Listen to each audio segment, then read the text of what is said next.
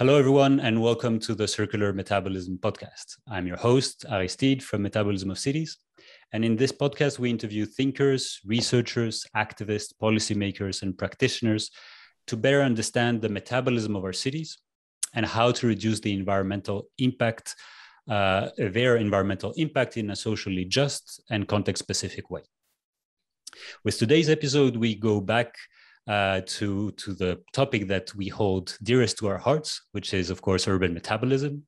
Uh, and if you have ever explored the topic of urban metabolism, one of the first pieces of text that you will encounter is the article, The Changing Metabolism of Cities, uh, which quantified the energy, materials, water, and waste flows from eight different cities, which was co authored by Chris Kennedy. In fact, Chris has been one of the main driving forces of the renaissance of the urban metabolism uh, field, let's say in the, the mid 2000s. Uh, Chris is a professor and director of industrial ecology program at the University of Victoria, and he has worked for over 20 years in uh, the fields of um, climate change, um, industrial ecology, accounting elements, and how to reduce the environmental impact of cities. Now he has developed a standard approach of citywide greenhouse uh, greenhouse gases accounting, um, developed mitigation strategies, etc., etc. What is very interesting is I think that he has um, academic background, both well, both not only from engineering but also from economics and management, and I think this will also bring some interesting insights. Um, he has worked with uh, the World Bank, uh, with uh, Enel Foundation, and many other uh, prestigious uh, foundations. So, with all that being said, I'm extremely happy to have um, Chris Kennedy with us. Chris, welcome to the podcast, and could you please let us know who you are and what is your your work? Like? Aristide, I'm overwhelmed by your introduction. I don't think I need to say too much more about who I am, but uh, that's fabulous. Uh, I love the use, I love the way you use the word Renaissance because it it really was. I I was fortunate to sort of be at a be at the beginning of a, a, restart of urban metabolism studies after you know Wolman had done it in the 65 and so there was and there was others between 65 and, and when we started looking at Toronto's metabolism but it was it was fortunate and timely when we started piecing together the, the data from those eight cities around the world and uh, and also tried to put a definition on metabolism or urban metabolism, which was which was possibly why that paper gets cited so much because yeah, it's got something there for people to say, what is this thing? yeah. So you define it as the sum of uh, the sum total of the technical and socioeconomic processes that occur in cities, resulting in growth, production of energy, and elimination of waste. Wow, that's a a difficult definition. Yeah. Yeah, and I, maybe I should say a little bit more about where that definition came from. And, and uh, I basically looked up a, a dictionary. I think it was Collins dictionary definition of metabolism which sort of gave the common person's definition of metabolism as opposed to the this more technical biologist anabolism catabolism type of definition of metabolism. And i said hey you know this applies to cities but it's it's about socio-technical processes it's not just about biological and chemical processes and so it, it, it really was an adapt, adaptation of, of that yeah that's the the root of the definition. So I don't. It, there's not a lot of genius in that. It's just uh, practicality.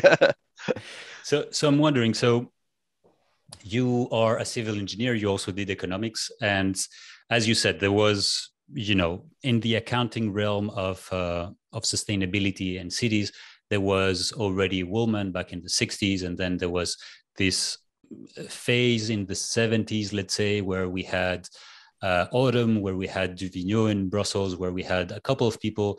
Uh, we had Hong Kong with Newcombe as well. So we had, I think, five cities that kind of did their homework quanti- uh, quantitatively, and uh, and there seemed to be a lot of um, emulation as well. I mean, they, they seem to discuss with them between each other. So there was something happening, and then it kind of died off.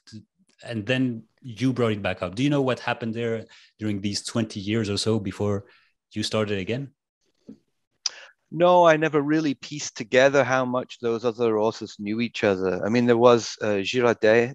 Mm-hmm. I may be mispronouncing that. He he was working not as an academic. He he he sort of he wrote about metabolism of cities. Uh, I, I don't know to the extent to which those other four paper authors really knew each other. Maybe you've discovered things I don't know, but uh, but what was striking about them was how just how different they were. Yeah. I mean, one was a chemical engineer, one was a, as a geographer, a civil engineer, even the way they drew their diagrams of metabolism were very, one was very organic and one like the Brussels metabolism was beautiful. I, I, I use that slide for years as a way of introducing the complexity, right? Whereas the chemical engineers, it was just a, a, a flow through reactor of Tokyo, right? So, so no, I, I mean, and there were others as well. I mean, I discovered years later, like getting into some of, there was some work on Barcelona, and I think it was maybe Prague or something like that, that was done mm. under some European studies, not necessarily, uh, not necessarily in mainstream literature. I mean, I was, I was fortunate when I was doing that review paper with with with Josh and John, the other two authors, that. Uh, University of Toronto, where I was at at that time, had a fabulous library. It was it's the third largest library in North America, uh, and I was able to find print copies of some of those uh, oh, wow. relative relatively rare publications, and that's how I I dug them out and pieced them together. And and obviously the reading what the writing of Brunner and Baccini was also an influence because Paul Brunner had had he, he gave me some clues in some of his writings just where, where, to, where to go look for things right so I, I, it was a piecing together but uh, but yeah, and, and then of course putting everything into common units was, was important. And, of course, and, yeah.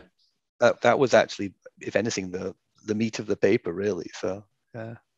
But but you did before before you you you worked a bit on infrastructures and tr- transportation, if I remember correctly, before emerge. I mean, before going to this review. But how did you say, okay, that's a that's something that I'm I, I might be interested to to look at this, or why why what was so appealing that you you then you know spent 10 years almost uh, working on the topic you know, you, I, I thought you might ask me about why I why I sort of started working in urban metabolism. So I, I, I spent a lot of time thinking about that, and I I mean we could talk a long time about this. I'll, I'll be, and I was thinking there's really three there's really sort of three things, or actually three cities that influenced me. Like uh-huh. it was uh-huh. London, Leipzig, and Toronto. And there's a story behind each of them. Right, we, we can go into them if you want, but I mean the first one is London. London's where I you know I did my undergraduate degree as an engineer in civil engineer at Imperial College in London and the, the, the, fact that I even chose to go to London from I was living in you know Lincolnshire in the English countryside.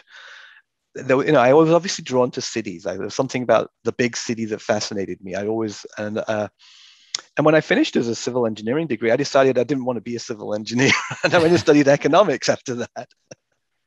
Why? Uh, what, what was the? What did you like, and why did you expect to find with economics?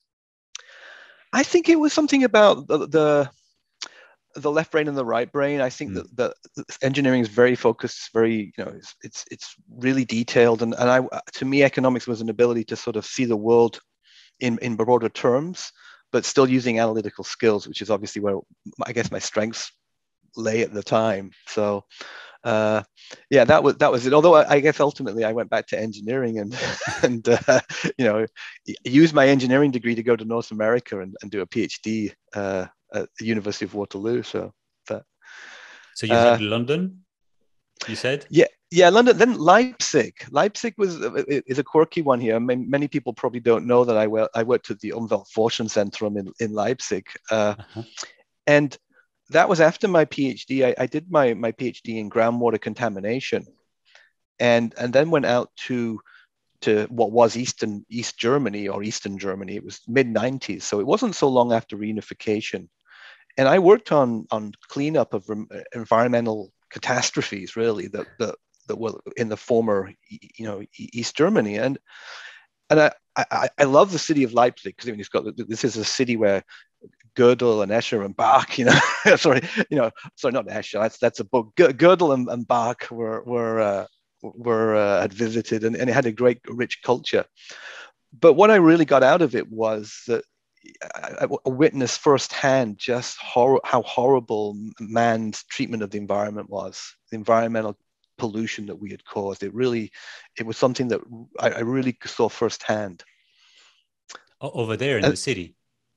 yeah, not so much in the city, but just in the, in the area around the city. It, it's in it's Leipzig is surrounded by the brown coal lands of, of eastern Germany. So there's there's these large areas where they've just done strip surface mining uh, to to get down to the brown coal. And I you know I worked on one particular uh, site where they they'd you know, there was a house in a little town called Saibling or something like that, or a, a row of houses, and, and across the road from them was this big pit and, you know, the grandfather's generation would have seen this big pit created by the, the, the coal surface mining. And then the next generation, they they took the the brown coal and they pro, they processed it to get these coal briquettes, and then they, they took the waste from that and put it back into the pit. So there was this big black lake of organic nastiness, right? And then after that, they they, they finally it drained away, or, and and they turned it into a landfill. so it was, you know, I just thought, oh, what a horrible, you know, what a horrible kind of existence of the, generations disaster, of people. Yeah. yeah, yeah. It's just, and, and it's unnecessary, right? If we're clever and smart. So, yeah. Uh, yeah. So, Emphasis so, on if, yeah yeah and so that like, leipzig itself the city was was fabulous. It was it was very entrepreneurial. It was growing. It was really responding from the opening up to the west really well and had all this great culture to to, to learn upon. So i loved leipzig but it was this surrounding area that i just like ooh no. but that's what i was working on right? That was my my area at that time.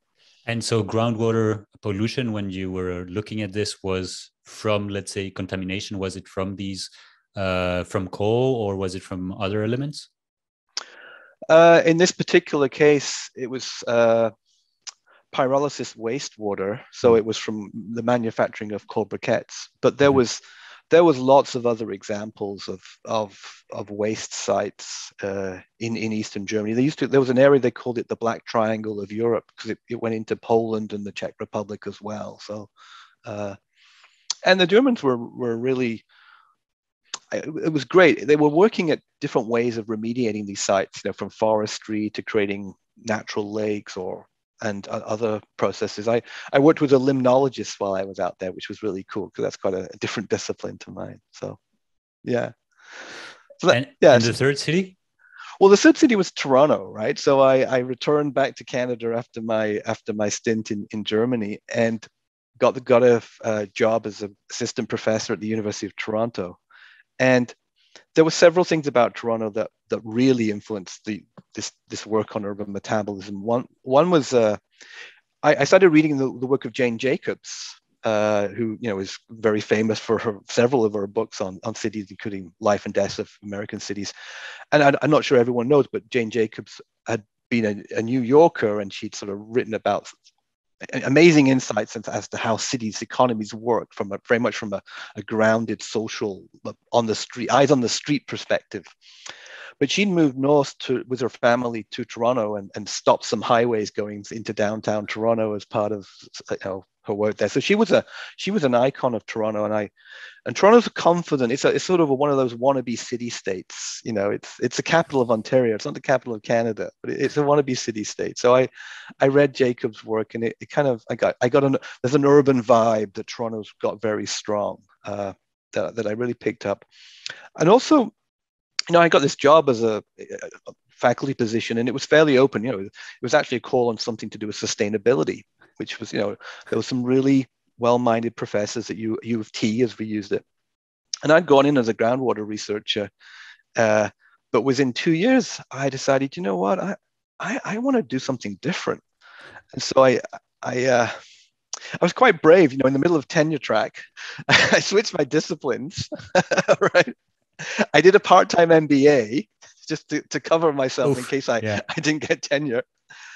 And I had an old colleague called Rodney White who'd written a book on an urban environmental management. He was in the he was a geographer, and uh, I'd got a I'd I'd seen in his book there's a, a, a few attempts to sort of quantify energy use in Toronto, and uh, and another colleague had, had actually given me a stash of papers on sustainability that he'd collected, but he'd just gone off to become the chair of the department. So he didn't have time to, to do any work in the area.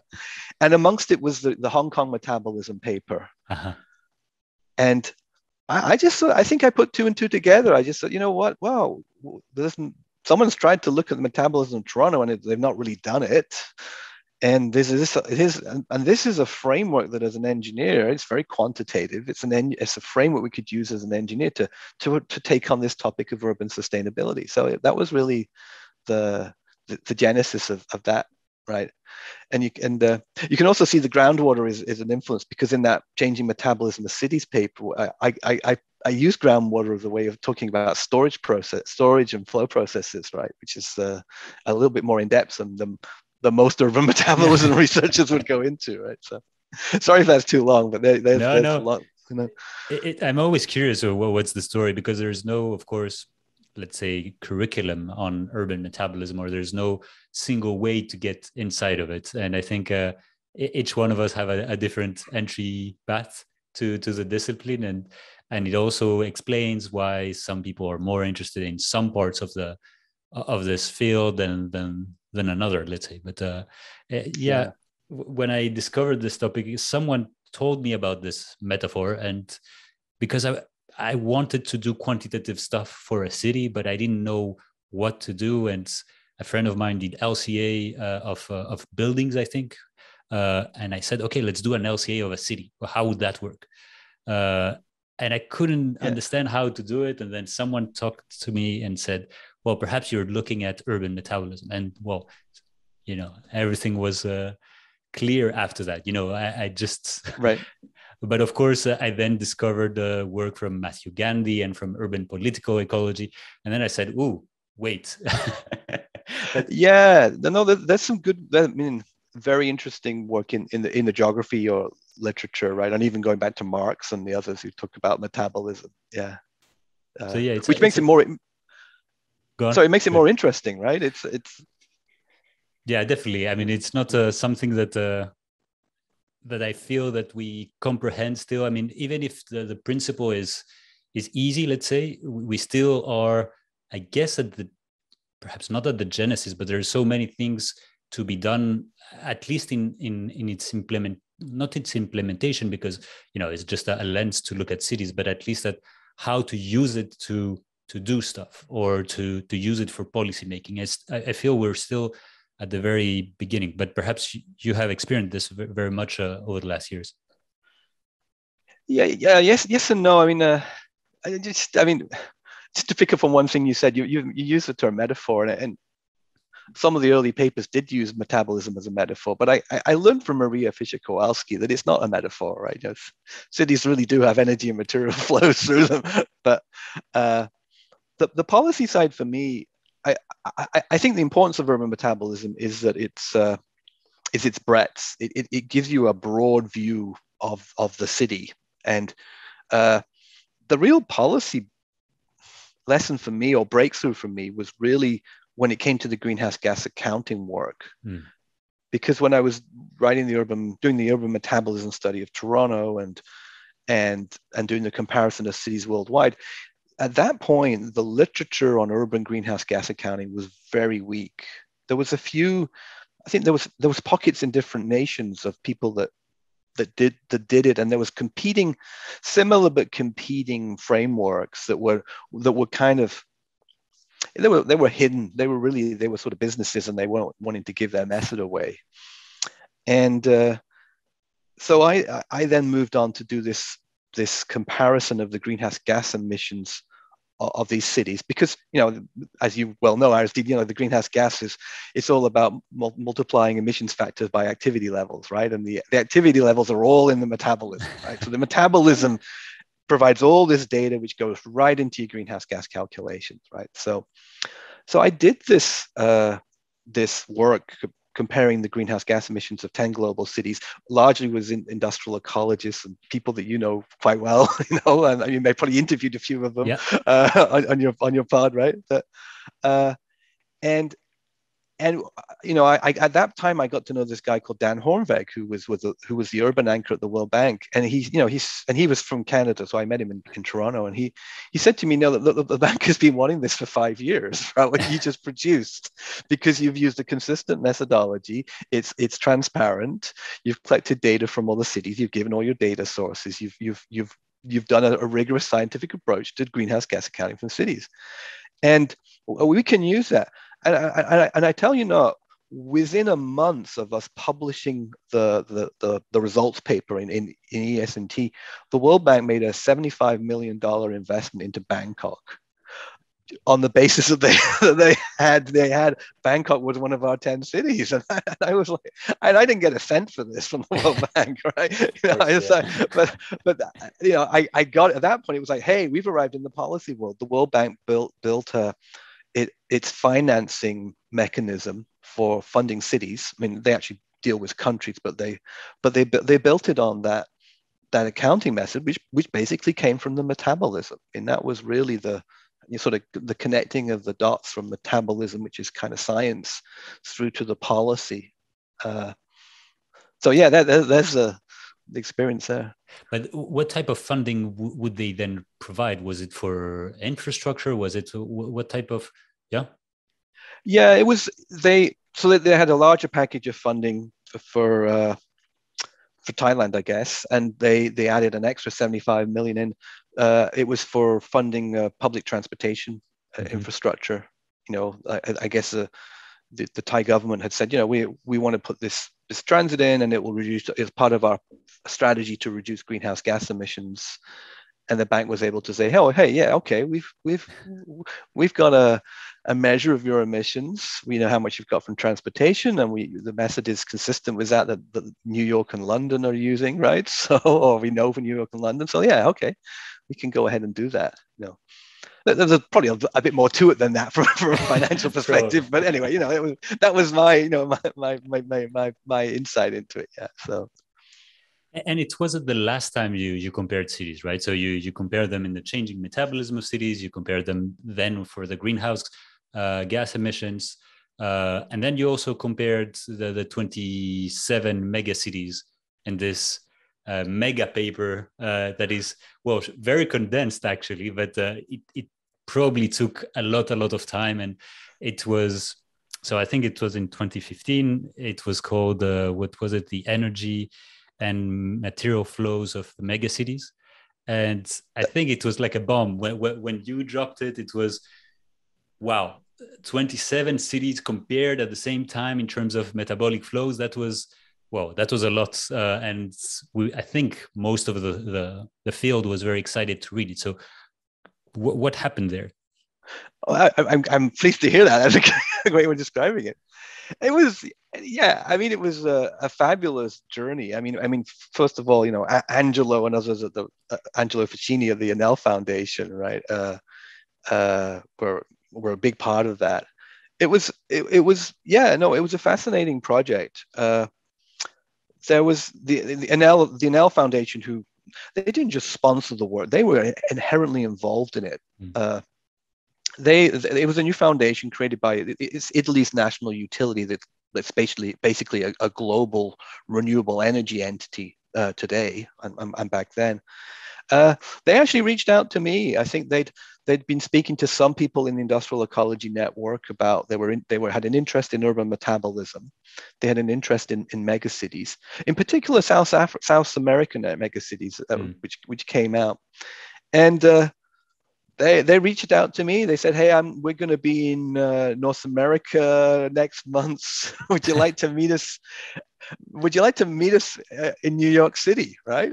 so I, I'm in Toronto, so I I did a short flight and we met for lunch on Fifth Avenue in New York, which was all kind of very kind of you know uh, enjoyable. It was just a lovely experience, right? And, and basically, uh, the Enel Foundation said to me, "Hey, we, we want to study metabolism in megacities. Uh, would you would you like to propose something?" You know, and and uh, I you know, and I said to them, "Well, you know, how much do you want to spend?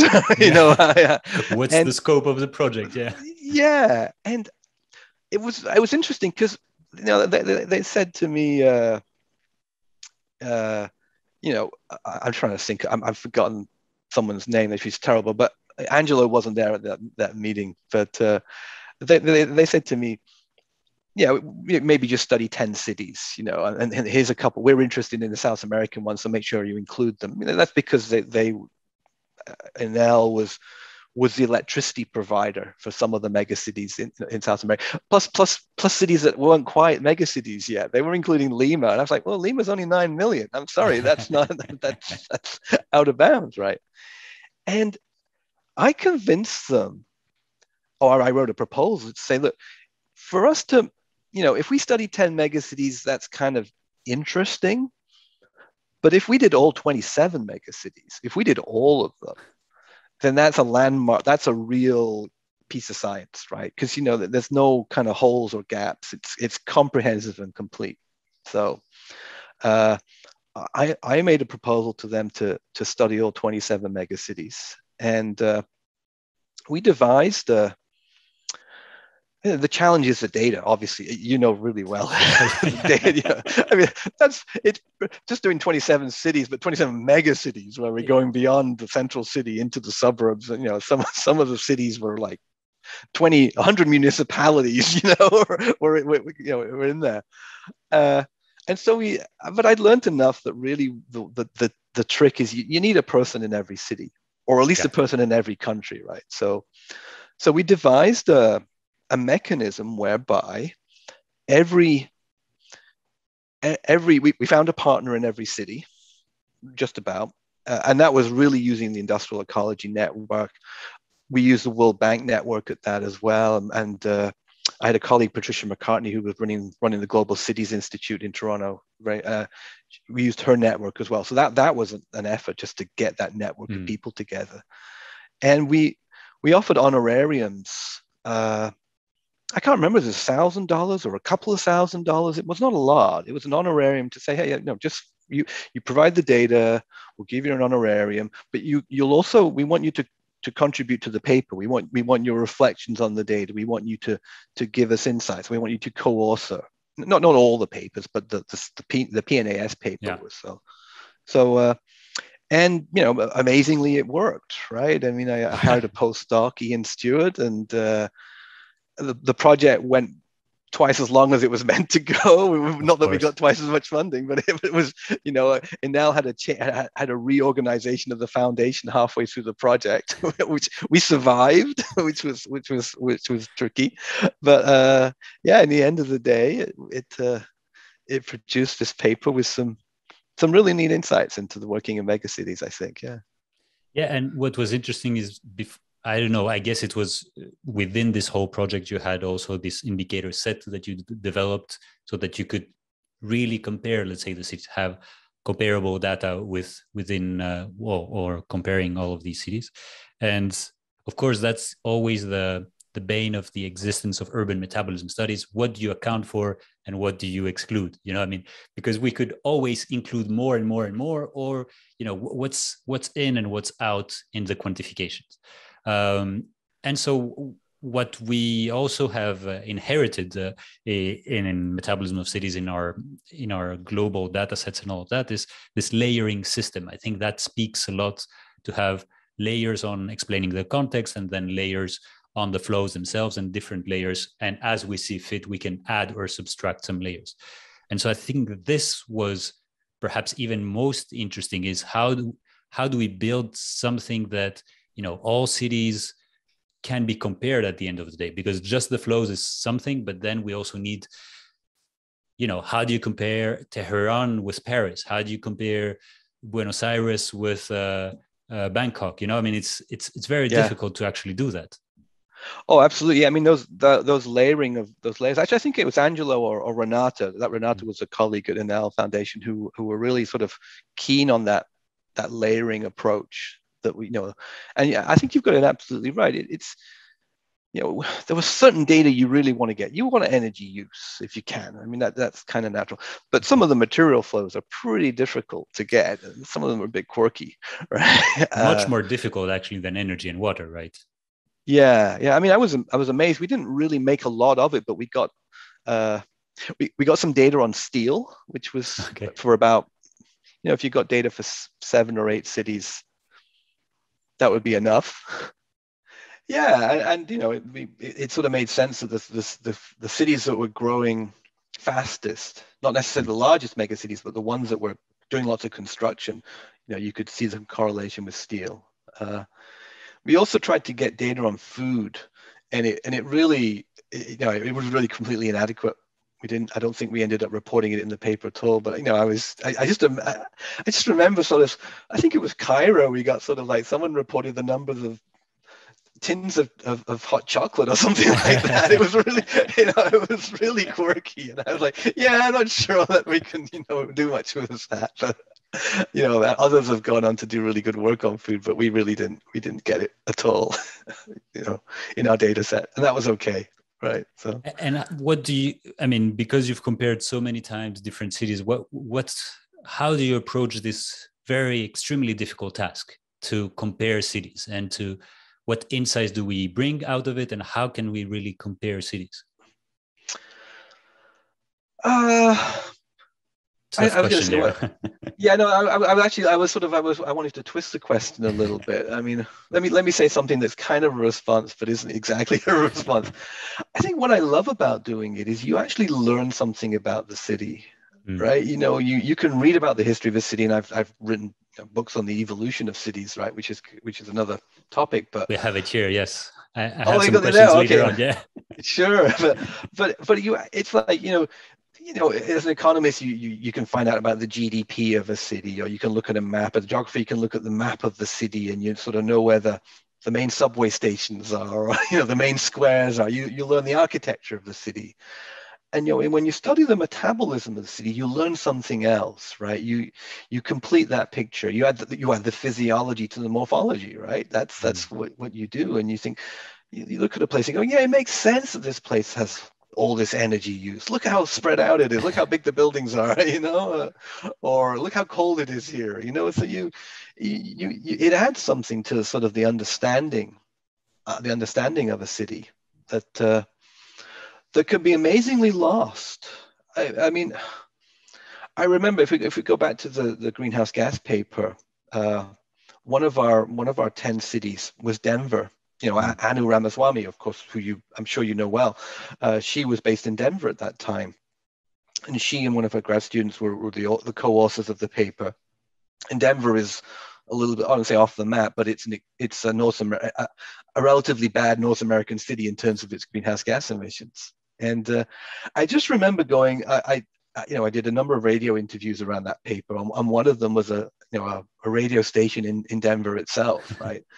and I just remember the presenter introducing me and saying, you know, we the people of Denver think we're living in the greenest city in the world, right? Because we have these beautiful Rocky Mountains behind us, and it's and it's clean living, and it's, you know, and I had to explain to him, but you know, you, you use a, it, it, you've got an interior continental climate, so you you've got you know you, a lot of energy for for heating and cooling, and you, are running off coal power. that doesn't help. Yeah, doesn't help though, and you've got this really spread out, you know, typical North American sprawl, right? So you, are driving an, an, awful lot, right? So it's your your heating, your high carbon electricity, and your and your, and your transportation emissions, which are the big three, right? Yeah. you know, that's what why you're over. Yeah. yeah. that's why you're over 20 tons per capita. That's why. And they and it was like, you know, like, huh? You know, it was like it was news to them. It was you don't perceive that, right? And until you've sort of studied the, the metabolism of the city. So I don't know whether that answers your question, but it was kind of where it, you know, kind of where it, took me, I suppose. No, you're right. I think it always goes back to some similar insights. Let's say uh, each city, their main flows are energy, water, construction materials, and food. Let's say, uh, of course, water dwarfs them all in terms of mass. Um, and you know on the output side it's more or less the same thing. So we we have i think now some generalizable insights uh, which which are good because at least you know w- when we start a new urban metabolism study it's not from scratch. We already have uh, some habits and some uh, you know insights that are comparable from one city to another. Of course then there is some specificities and this is why we were also very attached to, to context specific elements is you know how do we start then doing policies which are perhaps not exportable and are very context specific or is there something that uh, you know is there any are all policies universal or should we ground them all and how do we start grounding them and i think that's the next level which we're right now in, or something like that? Yeah, I mean, I, uh, that that provokes a couple of you know responses to me. Just first one, again, going back to the megacities paper, I remember when we were collecting the data for Karachi hmm. uh, in, in Pakistan, how you know a, a big part of Iain Stewart's work was actually proofing the data and checking it was right. I mean, I remember the electricity used for Karachi was coming out way, way much bigger. I mean, it was like we had Delhi and Mumbai. and then I was like, and then Karachi was like way, way bigger. I was like, no, that just can't make sense, right? No, let, us double check that number. And so, you know, we went back and you know, it turned out they'd given us the electricity used for the whole of Pakistan. right. So, right. It's like, no, we, right. we spotted that one. And because, you know, we'd expect it to be uh, similar to those other types of cities. Like, you know, the difference would be interesting, but, you know, but we, we knew that those South Asian uh, cities are have really low metabolisms, right, mm. per capita in per capita terms, right? So we'd learned uh, we'd learned something there. Uh, I can't remember what my second point was going to be. anyway, that was no, no. We're about talking policy. about the, yeah, exactly about universality or context specificity.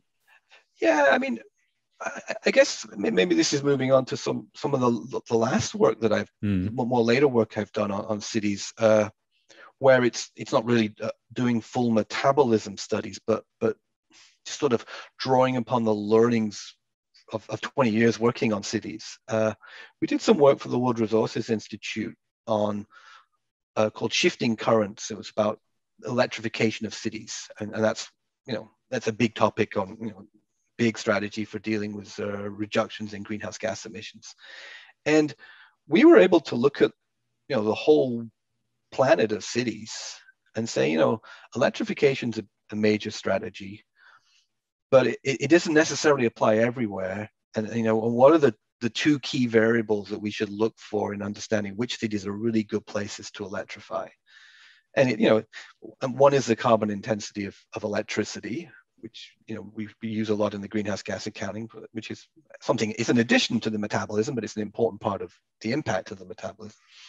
And the other is just to what extent is this city using electricity? What percentage of the population actually have access to electricity? Because when you're looking in the global south, it's you know you can't sort of start professing that everyone should drive electric cars if only 10% of the population actually have electricity, right? It doesn't. It's just it's social equity grounds. It just doesn't make sense. So, but we were able to, to pick out a whole number of cities across the, the world and in different countries where actually electrification was a, a really good strategy for for reducing emissions or or growing without so much large emissions. Uh, so that that was a I think that would be an example of of of, a, of something that's useful for policy people in in in a, in a very simple you know two very simple measures nicely displayed on a map of the world with some tables in the back, uh, which really came out of the understanding of metabolism.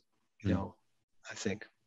Yeah, I remember. I think it was. Uh perhaps in 2017 or in, one of the conferences you said the future of cities is electric cities or the future is electric cities something like that was the the title of your presentation i think uh, and you had like a nice uh, futuristic uh, diagram i think uh, of or neon signs i don't remember yeah. Um, i think Actually, I think there's a rock band called Electric City, and I think okay. I stole their I think I stole their their, their logo or something. Might be that. I'll go have a listen.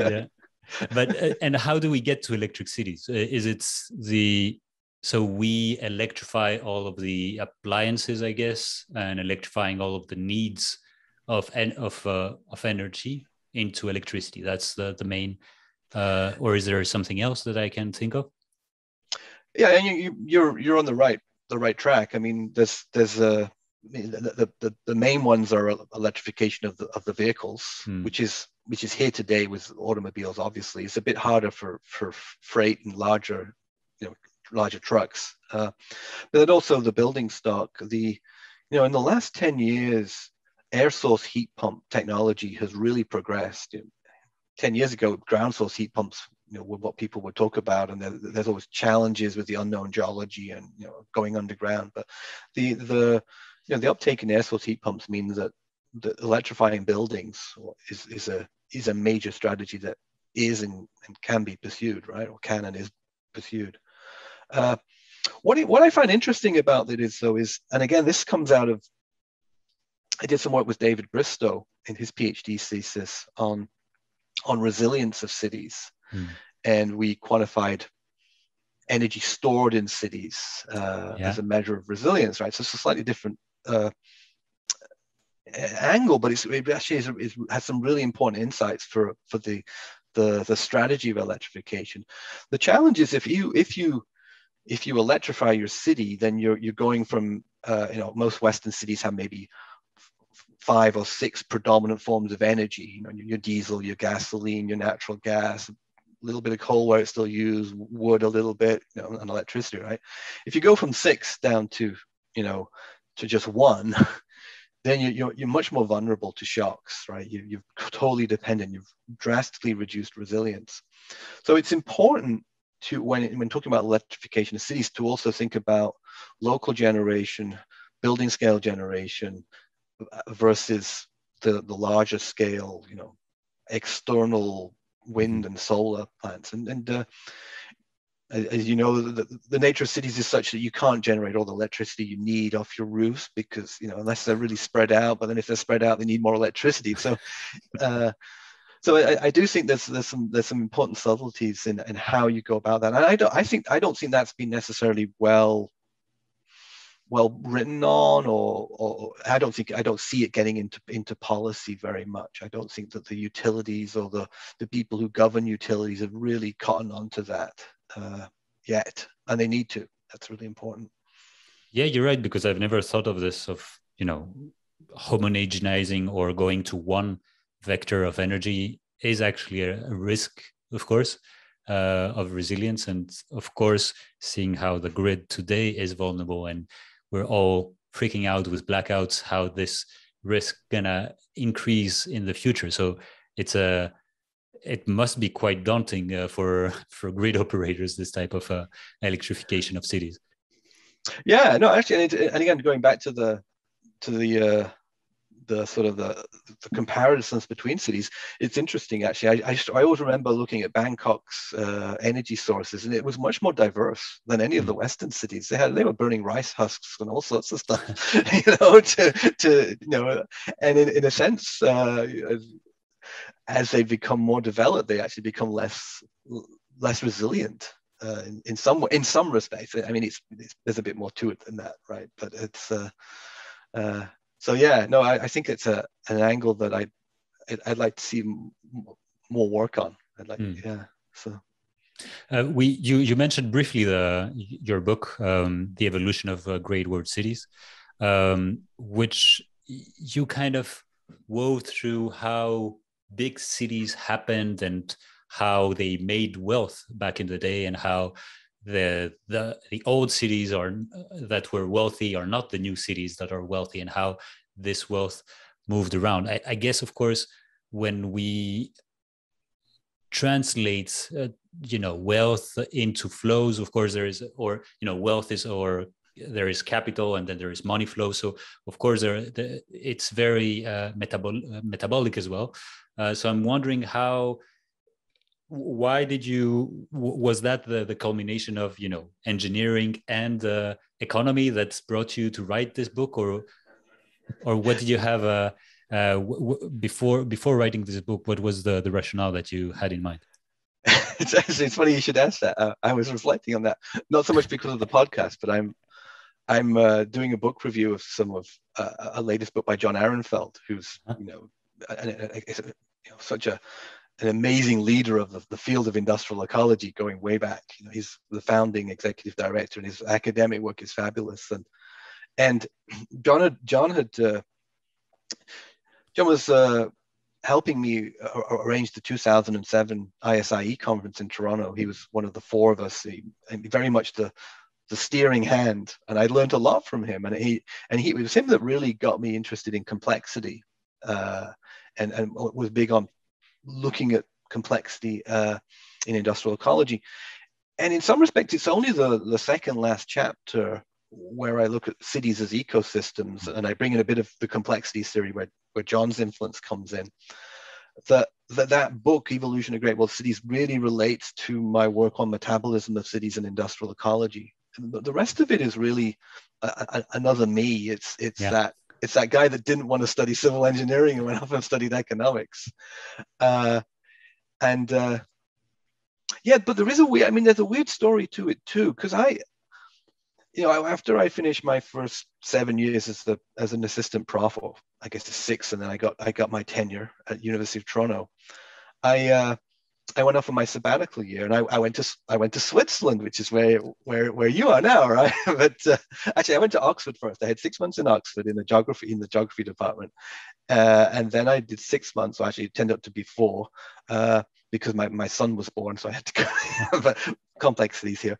But anyway, I, I reached out to Peter Baccini, who of course was just a fabulous writer. All the all the things he was doing and um, um, and it was it was odd because he just he just finished his professorship and he was working for the Swiss Science Foundation. Or, I'm, I'm, probably not got the correct term there, but he said you should come anyway, and you can you can mix in with my old group. So I, I you know I still went and I and so uh, and I, I and on my sabbatical I'd written to, that I was going to take I, I, used to teach a course called infrastructure economics.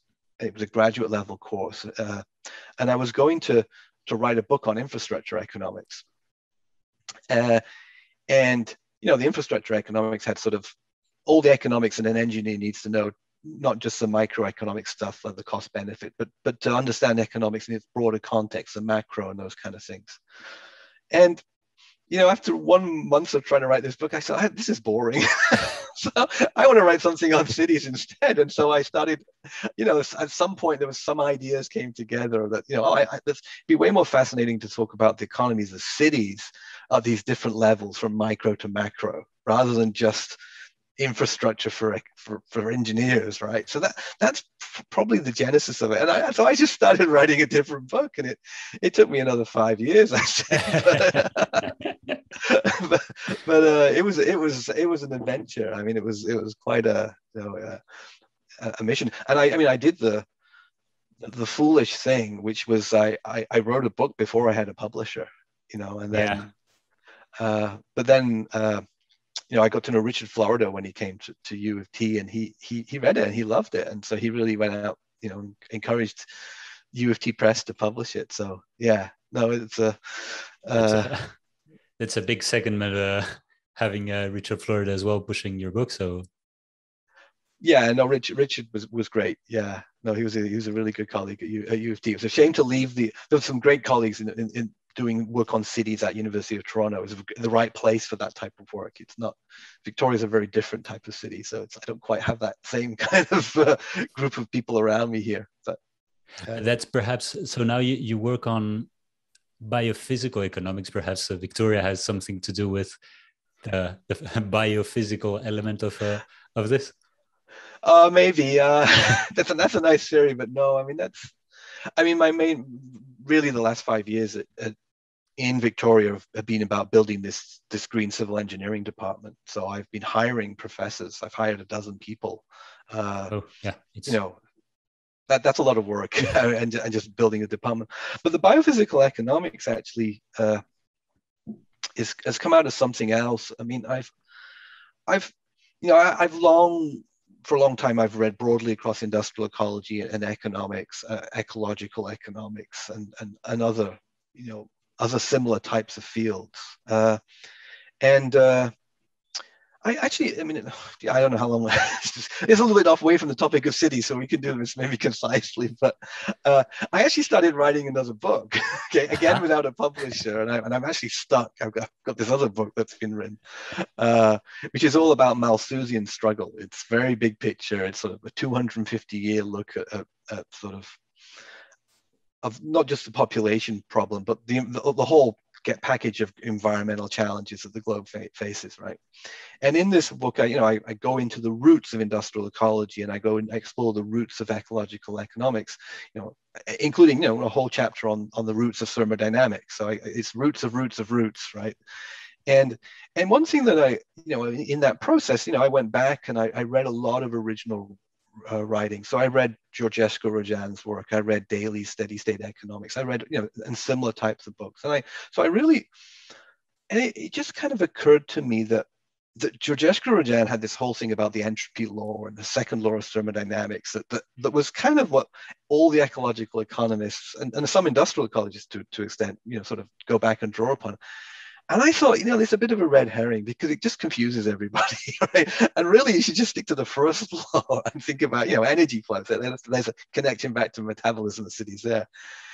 And I, I, I, think I saw a different way of interpreting what Georgescu-Roegen was trying to say. He was just trying to say economies are subject to the laws of physics. That, I think that's what he's just he's trying to say. And and of course, I also all this stuff on degrowth and steady state economies, and I, I just thought uh, and, and Hall's work on biophysical, well, he called it biophysical economics. He's really looking at energy return on energy investment. What basically what I did was I, have come up with a method for replacing uh, general equilibrium models of, of, of neoclassical economics using an equilibrium between capital, labor, and energy. Right. So I've I've I've I got working on this method, and I'm a I applied it to to the industrial revolution as a way of developing it uh, and now I'm applying it to 20th and 21st century uh, uh, North American economies, uh, really as a, as a way of dealing with greenhouse gas emissions. So I got pretty excited by it, and it's it's it's pretty much my main thrust of my work, at least you know just now. Things change, but, but just now it's it's it's really where I'm at. So, uh, so so this model, could, could you elaborate a bit? How how does uh, how does it work? I, am not so I get the I'm a bit aware of CGE uh, and in general how they work, but now you have uh, so capital, stocks, and then energy flows that you combined the three together to kind of see how they uh, what was the outputs attached to to these three or? Yeah let me let me uh, yeah let me elaborate a little bit more on that for sure. I'd, I'd love to. Uh, so the, the, the, the, CGE models basically, uh, this is going back to Walras and the idea that economies can be described by this general equilibrium where prices and, and outputs, you know, the, the, the balance of supply and demand for multiple products in all markets all can sort of come into this great big general equilibrium. And it, and it really has no physicality to it at all. It, it's very much, it's a social science model derived from physics, right? but, but no, but without using physics, if you use the mass of the physics, right? And, and various people have, have actually built CGE models of the Industrial Revolution, which was, I, I chose as my target period or era because it's a relatively simple economy. Uh, there's a bit of data, and it's not too contentious either. You know, there's, there's not a lot of people working in the space. It's it's an easy space to develop new ideas. I, I think anyway. I, have got some interest in that area, but but you know, you, you come across these people who have written these these have come up with these general equilibrium models. And one of them in particular was a, a researcher at University of Chicago. And what she had done is she'd put energy into the model, but energy and uh, was just a, a, an intermediate variable. You know, energy the, the, energy was just something that was used in industry, and, and and energy was dependent on capital and labor to generate the energy. And that's and there's more to energy than that. Energy flows through the entire economy. You, you need energy to produce capital. It's it's, mm-hmm. it's there's a, there's yeah. a two-way interaction. There's a feedback there. loop in there, yeah. Yeah, and so I'd I'd said well, and I'd rest. I mean, Bob Ayres has written a, lot on, you know, Bob Ayres has got some great work on on the role of energy and putting it into neoclassical production functions. But but I went further than that. I actually I wrestled with the neoclassical production functions for the industrial revolution and they, they, don't work. And, uh, and I, I, was reading this guy Allen who's a great scholar of that he, he found the same thing right? They don't work for the industrial revolution. So i kind of had to throw them away. So then so then here's the story of how capital labor and energy come together in the industrial revolution. And, actually cities comes into this as well which is kind of neat. So, so we can tie it back to the pod without getting too much of a detour right?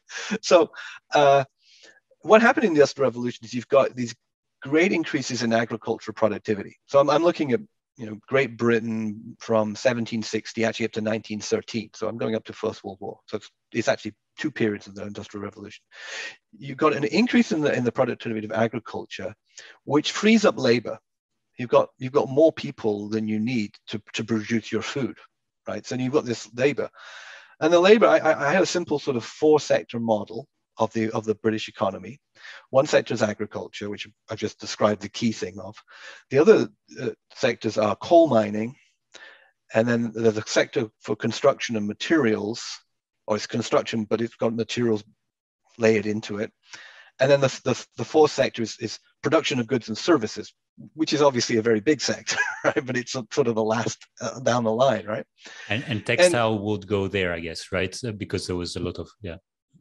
Yeah, so the textiles are, are, are under the goods and services. Yeah, so I don't really focus on obviously you know textiles, the cotton mills was a big part of the industrial revolution, but I'm I'm more interested in those the the, the energy mm-hmm. the energy side of it, right? Uh, and, and and so the idea is that you've got this excess labor, and they could go and work in any one of those other three sectors, but you can't they can't get a job until there's capital infrastructure in place. You know, there has to be mines for them to go do the coal mining. You know, and there has to be factories or, or shops for the for the goods and services. So so you, you need to build the capital, and obviously the construction and material sector is the sector that that does all the capital construction. And there's, there's no IT in those days, right? So it's it's it's all it's all structural and, and mechanical engineering basically. Uh, but then to to build capital assets you need energy. So you, you need the coal miners right? So you've what you end up is is this this neat little equilibrium model where your your labor from your, agriculture your, your energy from coal mines and your capital that's produced the physical capital produced from excuse me your construction and material sector all kind of play out and you actually grow you grow your cities mm. you grow your infrastructure you grow your goods and services capital right? So that that's i mean the math is actually really really simple. It's it's it's almost embarrassingly simple but it but it but conceptually it's a very different way of looking at uh, how economies function. And i you know and i've since i'm, I'm in the beginnings of applying it now to the more complex uh, economies of today which is going to which is an interesting an interesting direction that i'm i'm headed just now yeah, I mean, it's funny because as you as soon as you said that uh, in the agricultural sector we had surplus, and thanks to that we could do all of the other things. That's how cities were born. I mean, we we we need the surplus from somewhere else to to have cities, right? I mean, that's the kind of the the social and spatial uh, surplus that we need to to make cities. They they don't exist elsewhere. So I'm curious to to see how that would fit in as well like we need extra space outside to to make cities happen and then to make cities we need you know more material so yeah i'm i'm curious to see how that would evolve. Yeah i mean that's the i mean just tying a few, a few things together there. That's uh you know this the, the, amazing thing about cities we were talking about complex systems mm. before and, and john ehrenfeld's influence. And and yeah cities are this things that emerge it's emergence right? They, they, they, they, the complex systems that emerge. We free up the labor people need jobs. And and cities are actually a, a creation of higher order structures. There are, there are this complexity and and with with creating complexity there's this roles of people. There's people to fix potholes there's people to to work in gas stations there's people to build buildings there's people to fix buildings you know uh, and that that all comes about and you need an energy supply to do that too right? So it's the combination of the the labor that the excess labor from the countryside the ability to to, to have to access energy sources that creates these amazing entities these cities that we that many of us or more than half of us these days live in. And uh, and I, I, I, again just a connection to this was uh, I, I, was really fortunate to supervise the PhD thesis of David Bristow, who, who again is another industrial ecologist, and and he he did his PhD on sort of the thermodynamics of cities, and and he was so far ahead of me. I, I didn't understand what he was doing. I came out of his first defense. I worked closely with him, but I came out of his first defense, and I said, "Oh, Dave, I finally got. I finally understand what you're doing." you know, and he, he he had seen this idea of the, of the role of energy in the emergence of cities. It was in his it was in his thinking. He needed a little bit of help to kind of to pull it out, right? But I, I find the penny dropped for me at, at, at, what he was getting at, right? And so it's it's all buried in his in his PhD thesis. But uh, so that was something that I, I, really felt like I was learning about cities through, through that work and that perspective. But again, metabolism is is in there, right? It's yeah, the role of energy is it really critical? Yeah. Uh, so you you have these two current projects, biophysical economics and global infrastructure. What what is kind of your small uh, secret project that you're working now for 2021, 2022? Is there something that you really want to explore? Something that uh, you want to to to discover still? Uh, something new that you want to embark on?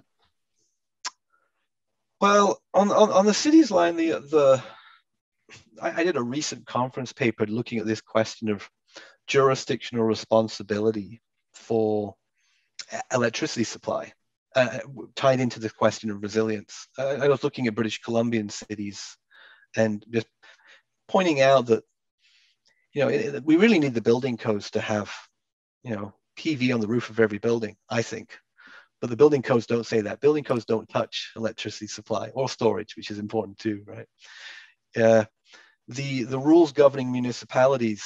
Uh, so to say that res- there's lots of things pointing to the fact that municipalities have a responsibility for the well-being of people and you know provision of, of infrastructure and, and, and almost words like resilience but they're superseded by the utilities the electrical utilities right the electrical utilities have this power to sort of put their put their poles and their lines wherever they want, or or, or, or, you know, sort of tell municipalities that who's in control, right? And so there's, I think there's some tensions to be worked out there. You know, I'd love to see some more work done in there. I'm not sure I will do it, but I, it is something that about cities that, that's interested me a lot. Uh, I, I, am mainly working. I'm, I'm mainly working on uh, a biophysical economics model of the United States just now uh, oh, with, a, cool. with, an old colleague from WRI. That's that's uh, one thing. I've actually got a, a, new postdoc starting with me today, which is really exciting because we're going to, you know, he's going to do some of that work, but he's also just come out of a PhD with Peter Victor in ecological economics, so he's got some he's got some really great talent. So I'm looking forward to to seeing what he produces. Uh, and then again, I've got this this other book that I've been beavering away on. So we'll see whether I find a publisher for that. I don't know that that might be. It might still be a few years away before that that sees the light of day. Is the topic also something in between civil engineering and economics, or? No, this is the one on on the Malthusian struggle. Ah, yeah, yeah. Sorry. Yeah, yeah, yeah, yeah, yeah.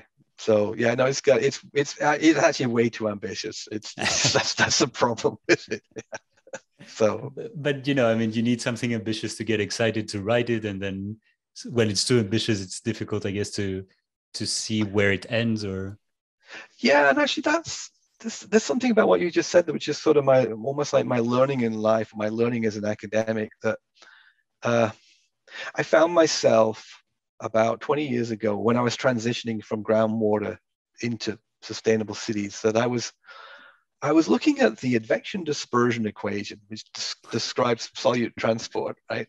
And I was looking at, at the uh, uh, its inability to, to, to describe tail effects.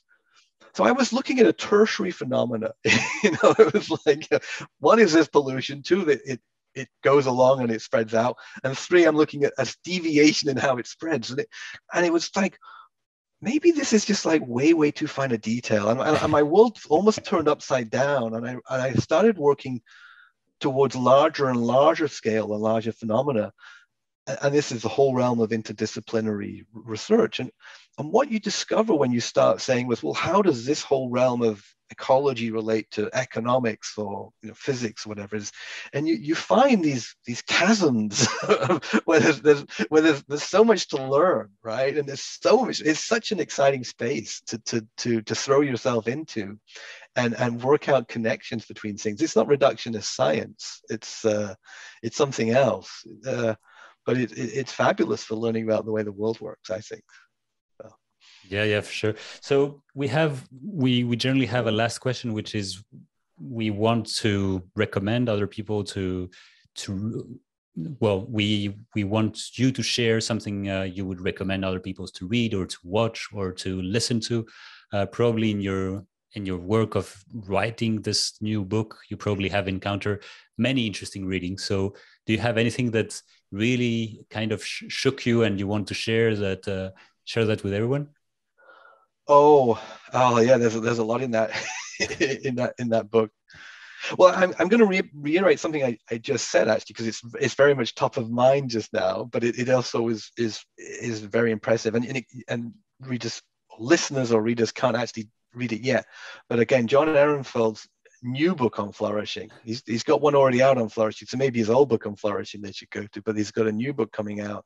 Uh, it's you know, I'm looking at the the the, the pre-proof the, the proof copy just now to, to, to write my review of it but it it, it is a, an amazing piece of work i mean it's got brain brain uh, science and, and philosophy and sociology and business and, and ecology and spirituality wrapped into it. It, it is a really clever, sophisticated, deep look at, at, at humanity and our, and our challenges, right? So I, I, I, I I'm in awe of John Ehrenfeld just now. So that there's a pretty good plug for his for his book, uh, you know, uh, on flourishing.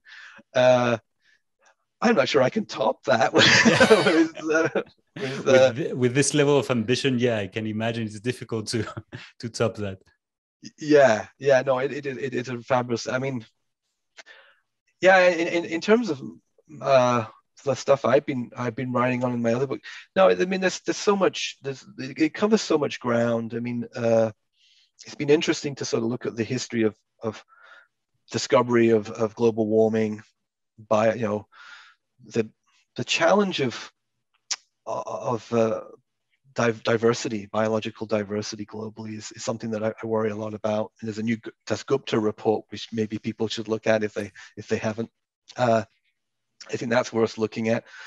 Uh, I, yeah, I mean, I, I you know, some of the foundational stuff on on uh, thermodynamics still interests interests me a lot. I uh, I'm just trying to remember the name. There's a there's a researcher who moved from uh, moved back to Germany from from Maryland, whose work is Kleidon, Axel Kleidon. Yeah, so Axel Kleidon, uh, he he's uh, I think he's at Jena in in uh, East Germany now. Uh, but he's done these wonderful work papers on understanding the, the whole Earth system through non-equilibrium thermodynamics. Not not not not too deeply technical or not too deeply mathematical, I should say. He's, his writing is, is really good. There's, there's there's several papers in in pretty pretty prestigious journals that I, I came across in the last few years. Uh, uh David Tilman's work actually that I mean he he he did a he gave a presentation at a Gordon conference not too far away from you, probably I don't know, 10 years ago. But his his work on understanding the future challenges of biodiversity loss to provide food for a growing and, and, and more affluent population is really quite hard hitting. And and I, I, I do think it's uh, almost scary, but I, I think he, he's and he's a very accomplished academic too. So there, there's just a couple of, of, of names I, I, I, could I could throw out, but yeah. Uh, that's probably enough to whet the appetite of listeners to this, I would imagine. yeah, they'll be covered for for a couple of months, I think, with uh, with yeah. these uh, list of because you need to digest them as well. It's not just uh, reading them; you also think there is knowledge to to be understood and then linked uh, with uh, each other. So, um, so uh, thanks so much, Chris. I think we we covered many things. I, I learned a lot from you know the the this renaissance. I learned a, lot from, uh, you know, what are some uh, interesting topics to also start researching again, uh, some others to to rediscover as well. Um, thanks so much for taking your time, uh, Chris. And I think we, I hope we're going to meet very soon in another conference and discuss this over. I am I'm really looking forward to reconnecting with people again. I've had my jabs. it's been fabulous to talk to you, Aristide. It's a lot of fun yeah and, and and kudos to you for doing this part it's it's great and you know uh, i hope you you can edit that down and, and have a a really some good insight from our conversation. So thank you. I, I always enjoy it. Thanks a lot for for sharing all of these insights. And thanks everyone for listening until the end. We'll see you at the next episode. Cheers